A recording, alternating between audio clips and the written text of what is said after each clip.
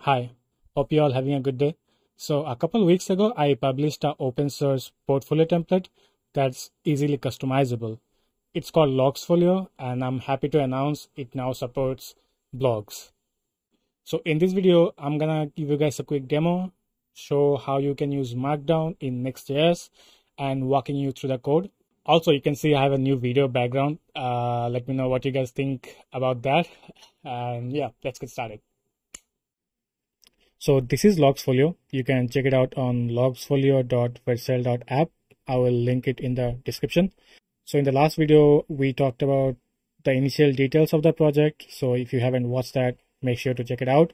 But long story short, you have your banner section here with your work experience, your projects, your education, testimonials. And now recently we just added blogs. But the coolest part about the project is all the data you're seeing is coming from this JSON file. So it's super easy to customize. So if you just want to change your name, you can just change it to John Doe.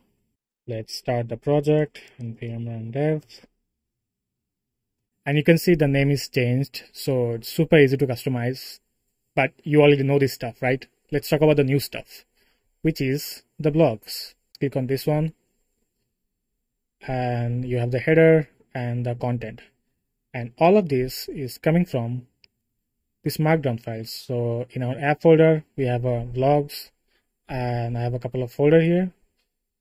This one is the welcome one and you can see these are all the content you see here.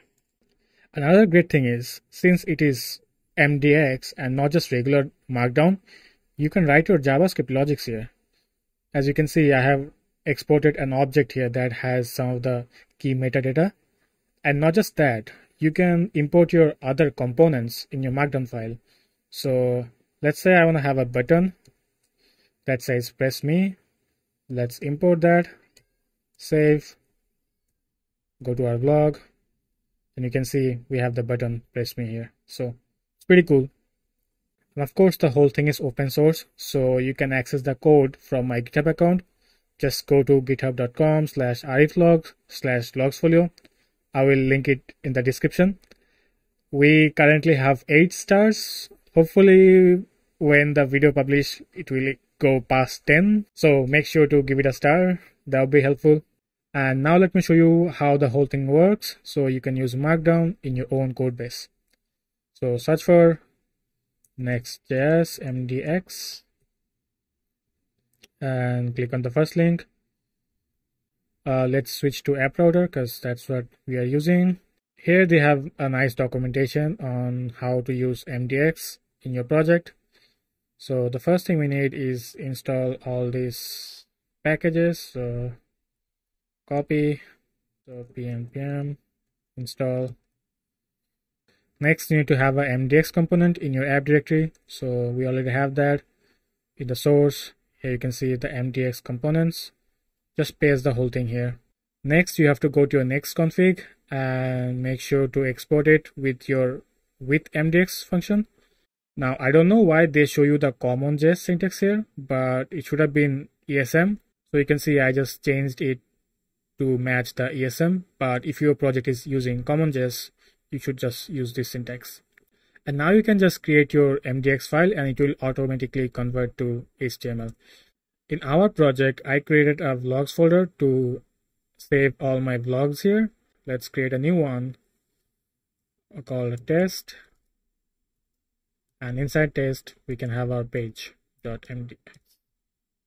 And here you can write your markdown and next will automatically convert it to HTML and handle all the routing and stuff. So let's just say this is test and it should be a h1 save localhost slash logs slash test.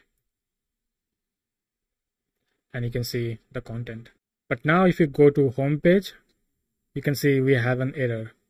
And that's because you can see in the home page at the bottom vlog section we are actually importing all the blogs and showing it here as a list and that was possible because in all the blogs, we have this metadata where you have the title description slug is published published date and stuff which you see here.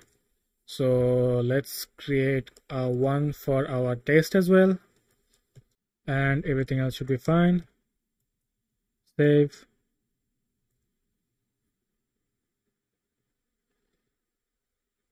and when you go down now now you can see you have a test if you click on it it opens up the page. Now you might wonder how do we get all the blogs listed here right? Well that part is happening on the root label page. So if you go to the page section here you can see we have a variable called post that's calling a function. And this function is responsible for importing all the data. So let's open this up now this function might look a little intimidating but it's super easy. Let me explain how it works. So first we are getting the blogs directory to fetch all these blogs. And then next we are getting all the folder names. I have a filter here to make sure we are only getting the folder names because you can see we have a layout here and we don't want to work with the layout. We only need the folders right? So i'm just filtering that out. So if you just console this part post.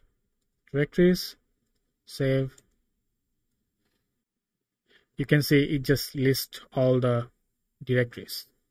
And next we are just looping through all the folders and importing the metadata that we exported in all our blog content. So you have one here one here and one here.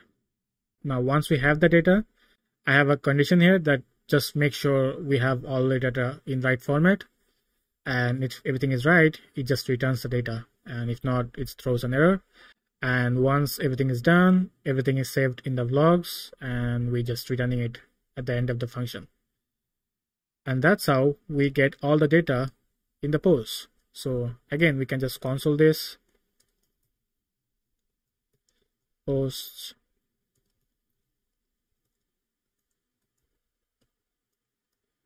fresh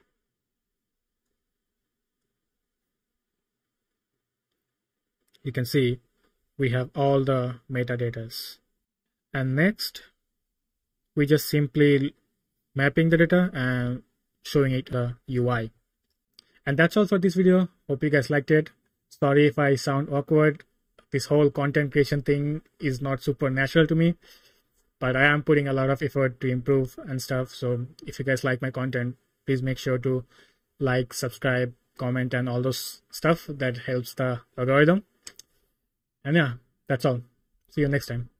Bye bye.